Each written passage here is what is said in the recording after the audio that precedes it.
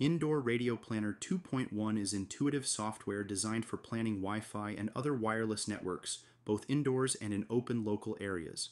With Indoor Radio Planner, you can design various networks, including Wi Fi, 5G, and LTE mobile networks, cordless telephony, public safety networks, wireless IoT, and more. Indoor Radio Planner also allows you to survey and visualize Wi Fi networks. In this video, I'll demonstrate some key features of Indoor Radio Planner. For more details, please refer to the user manual on our website, wirelessplanning.com. If you're interested, you can download the software and evaluate all its features during our convenient 7-day trial period. The trial package includes Wi-Fi, 5G, LTE network project samples for multi-story buildings. These projects are fully prepared for coverage prediction studies. Simply open a project and click on the Calculate Coverage button. In Indoor Radio Planner, you can work with two types of projects. Indoor projects, when access points are placed inside a single or multi-story building. This type of project allows you to predict detailed coverage on different floors, taking into account individual parameters such as signal loss through internal walls, RF zones of different rooms, as well as losses through floor slabs. Outdoor projects, when access points are placed in an outdoor local area up to 2 by 2 kilometers in size. This project type allows you to predict coverage both inside and outside buildings, in streets, open local areas, etc.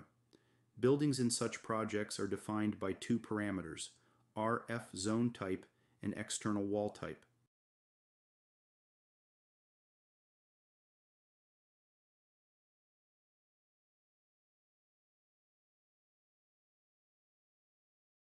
In Indoor Radio Planner, wireless systems are categorized into several generalized types Wi Fi, LTE, and 5G systems. All other systems are classified as generic TRX. The selected system type determines the additional system parameters and the types of coverage predictions available.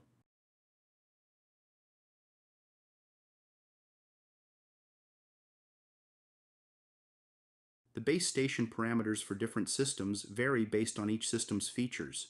However, the overall approach is similar. Enter the parameters of the transceiver and antenna and select the antenna pattern in MSI format. Our website's MSI antenna pattern file library section has numerous Wi-Fi access point antenna patterns, making it easy to find the one you need.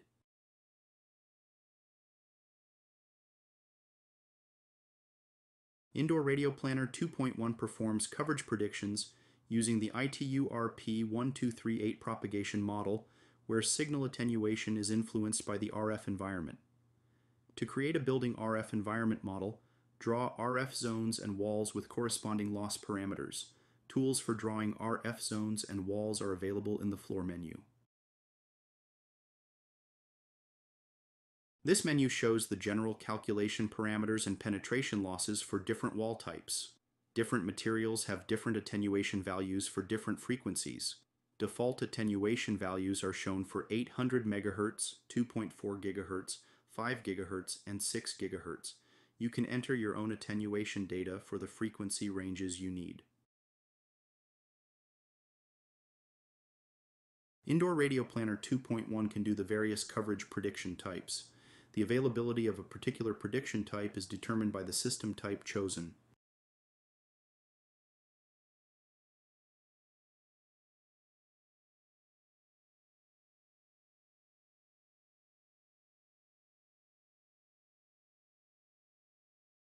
When you click the Calculate Coverage for Current Level button on the main toolbar, all prediction types are performed at once. The displayed prediction can then be selected from the main toolbar. Received power or RSSI maps show areas where a given signal power level is present at the receiver. Choose visualization as a heat map or a composite grid. The secondary received power coverage map displays areas of the second strongest signal at the receiver. You can also choose visualization as a heat map or a composite grid. Best server coverage map identifies the system supplying the strongest received signal at each location. The system color is defined in the sector parameters, or can be assigned automatically. The carrier to interference plus noise ratio is crucial for system performance and affecting frequency planning. This ratio is calculated by finding the strongest received signal power at each location, summing received signal powers from all other co-channel and adjacent systems, and then calculating the ratio. The interference calculation always takes into account the noise component, which depends on the noise bandwidth and receiver noise figure entered in network system settings.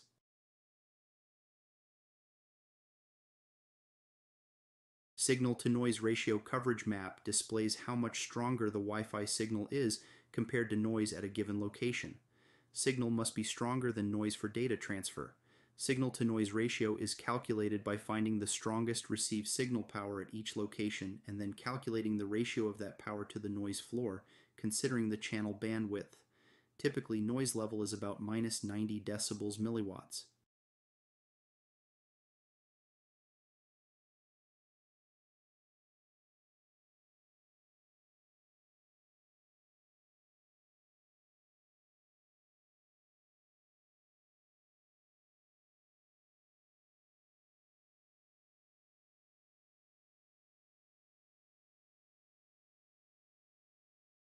Channel Interference Coverage Map shows overlapping Wi-Fi access points in a single channel at a given area, displaying both co-channel and adjacent channel overlap. Minimal channel overlap is ideal for interference-free operation.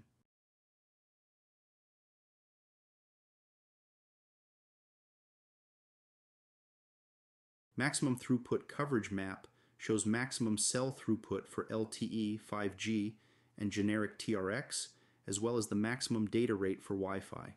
For LTE and 5G system types, this study calculates the MCS index for each point based on the predicted carrier to interference plus noise from the LTE and 5G system parameters tab of the network. The throughput associated with the MCS is determined using three GPP specified formulas and tables. For Wi-Fi system type, this study calculates the MCS index for each point based on the predicted signal to noise ratio from the Wi-Fi system parameters tab of the network. The throughput associated with the MCS is determined using 802.11 specified tables. For generic TRX system type, this study calculates the throughput for each point based on the predicted carrier to interference plus noise from the adaptive modulation table in the System Parameters tab of the network.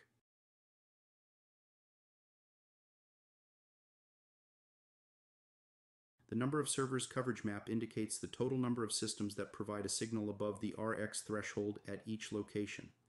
RSRP prediction calculates the reference signal received power from all resource elements of a cell at the remote UE receiver using LTE and 5G network system parameters. You can choose prediction visualization as a heat map or a composite grid. RSRQ prediction calculates the reference signal received quality from all resource elements at the remote UE receiver using LTE and 5G network system parameters, bandwidth, subcarrier spacing, cell load, and carrier to interference plus noise. Indoor Radio Planner 2.1 allows for passive surveying and visualization of a site's Wi-Fi environment. During a passive survey, the application collects comprehensive data about the Wi-Fi environment, information about access points and their characteristics, signal strength, interference, etc. It is called passive because during this type of survey, the application passively listens for packets without attempting to connect to Wi-Fi networks. Any Wi-Fi adapter available in the laptop can be used for site survey. Before performing a survey, you need to create at least one level. The survey is performed using the step-by-step method where Indoor Radio Planner collects data only at the location indicated by clicking on the map. After marking a location on the map, you must remain in place until the scanner completes its work cycle.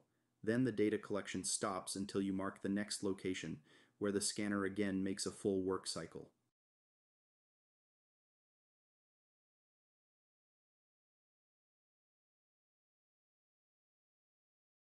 To work with surveys and subsequent visualization, the main panel of Indoor Radio Planner provides a group of tools. Wi-Fi Monitor allows you to get a list of all available access points. Wi-Fi Survey List lets you perform and save multiple surveys in a project, Wi-Fi survey visualization enables visualization of survey results.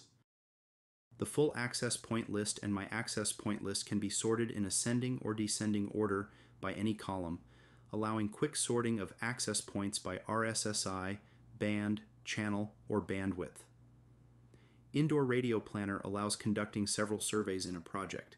Surveys are managed in the Wi-Fi survey list menu with current measurements entered into the active survey.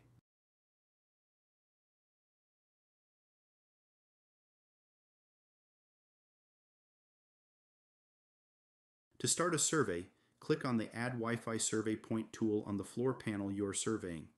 Then, click on the point on the plan corresponding to your location and wait for the full measurement cycle to complete. Until the cycle completes, the measurement message will remain on the screen. Then, move to the next location, click on the corresponding point on the plan, and so on. To exit the measurement mode, release the Add Wi-Fi Survey Point button or press Escape.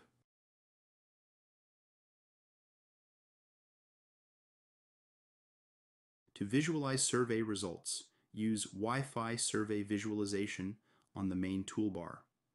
In the appearing window, you can select surveys whose measurement data will be used for visualization. Here you can also select access points from the My Access Point list for visualization. The following visualization types are available. Received power, secondary received power, best server or best access point, number of servers or number of access points, signal to noise ratio, channel interference.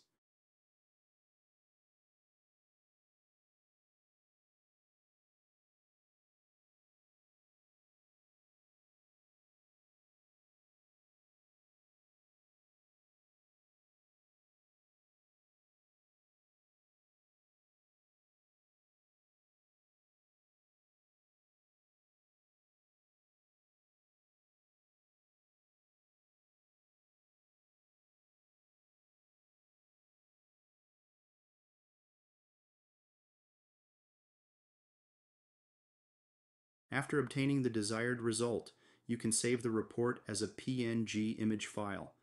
The saved image includes the same area and legend placement as currently displayed on the screen. You can select the image resolution and the size of the access point icons. The resolution can match the current size or be two or four times larger.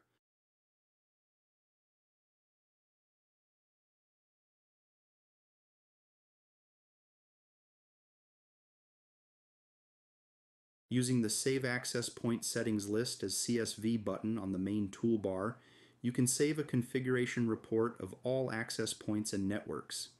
This CSV file can then be opened in Excel.